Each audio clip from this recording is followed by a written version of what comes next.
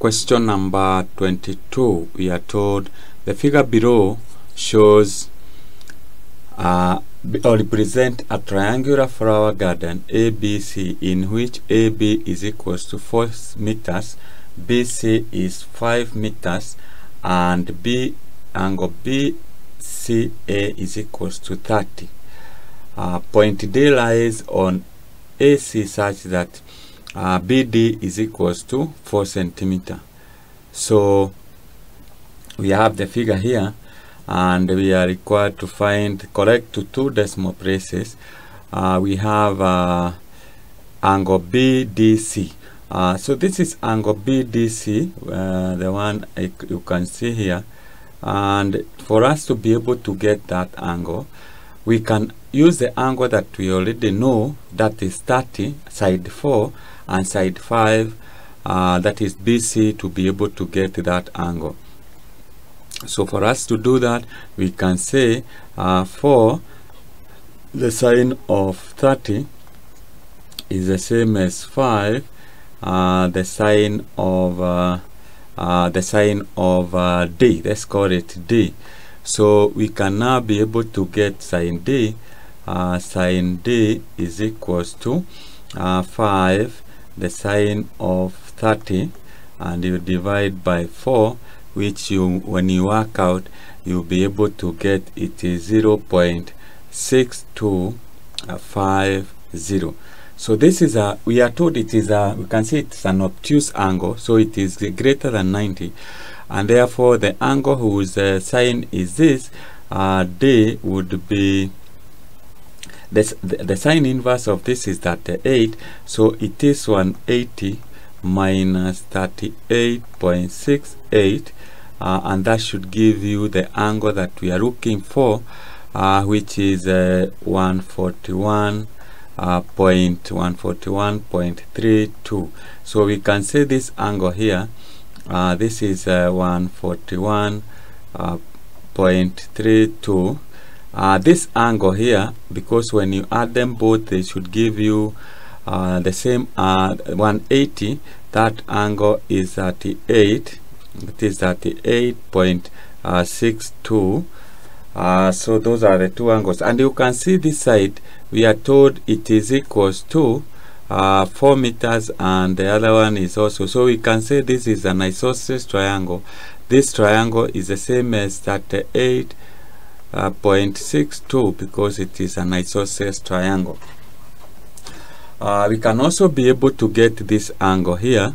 Uh, this angle you'll be able if 180 minus when you add the two ang base angles you should be able to get uh, 102.64 uh, so we can be able to get those angles so uh, the length of AD so if we want to get AD, we can use the angles that we already have and we say that uh, our AD, uh, we can use uh, this method. So using the angles that we already have determined, we can say our AD divided by the, uh, the opposite angle is the sine of 102.64. It is equals to uh, 4 divided by the angle opposite 4 you can either use AB or BD it is the sine of that 8.68 uh, so with that we can get AD is equals to uh, 4 the sine of uh, 102.64 and this is divided by the sine of uh, that 8 6.68 with using your calculator uh, you should be able to get it is 6.25 uh, 6.25 uh, centimeter. So this is our AD and that is part B. Uh, so let's go to part C uh, so part C we are told to find length, the length of uh, DC and if you look at uh, what we have here we can we can get uh, the length of DC we can be, we can be able to get this angle because we say that angle is 180 minus we are 30 uh, that is 30 uh, plus 141.32 3 2 degrees these are degrees uh, because the three the, uh, the angle angle that is this is we are talking of angle uh, DBC the angles add up to an 80 and you'll be able to get that angle is 8 point we get uh, 8.68 degrees. So we can use this angle to get DC and we'll say uh, DC divide by the sine of uh, 8.68 degrees is the same as 4 uh, and the opposite side of angle of 4 is sine 30 uh, degrees. So you find that uh, DC is equals to 4 uh, the sine of uh, 8 point this is 8.68 uh, then you divide by this is the sine of 30 and using your calculator you'll be able to get DC is 1.21 centimeter uh, centimeter. So that is how you answer uh, part C. Let's have a look at part D. So part, part D we are told to find the area of the flower garden. So this is uh, part D. The area uh, we already have this angle. This angle here it is 8 point we have found this angle is 8.68 degrees.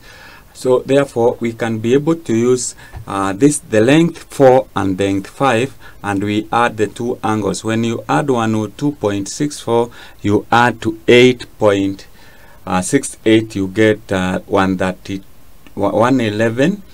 111.32 so we can be able to get the area and say area area is equals to a half uh, multiplied by 4 multiplied by 5 the sine of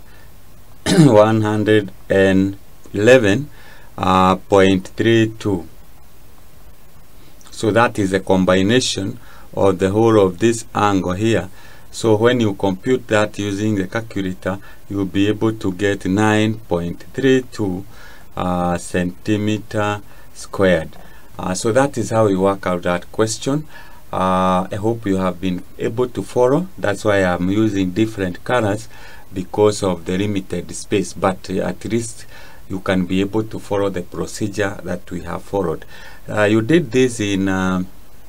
form 3 uh, so once you are able to identify those angles you know the how to find the area of a triangle using two sides and inclusive angle. Uh, so that's how we will go about that question